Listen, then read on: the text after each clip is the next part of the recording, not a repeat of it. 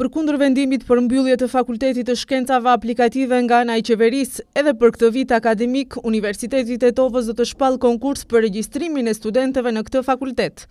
Sipas prorektorit për Arsim dhe Shkencë Reshat Qahili, vendimi për mbylljen e këtij fakulteti është dërguar në Gjykatën Kushtetuese, nga e cila pritet të shqyrtojë kushtetueshmërinë e mbylljes së këtij fakulteti.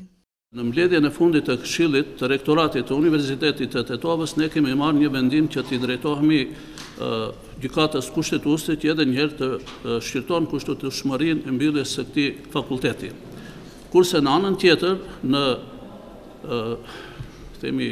konkursin që kemi propozu ne si universitet dhe që e kemi dërgu ministrisë, në te figuron edhe Fakulteti i Shkencave të Zbatuara, me të gjitha programet studimore, që do thotë se në çdo program studimor janë propozuar numër i studentëve që ne llogarisim se dhe vitin e ardhshëm do të regjistrojmë student në këtë fakultet. Vendimi për mbylljen e Fakultetit të Shkencave të Zbatuara nga UT-ja u mor në janar të këtij viti nga ana e qeverisë dhe Ministrisë së Arsimit dhe Shkencës për shkak të hapjes së këtyre drejtimeve në Universitetin e ri Nënë Tereza në Shkup, i cili është paralajmëruar se do të nisë nga puna vitin e ri akademik. Sidoqoftë, konkursi parashikon regjistrimin e pesë mijë studentëve të rinj në të gjithë fakultetet dhe programet studimore të Universitetit të Tetovës.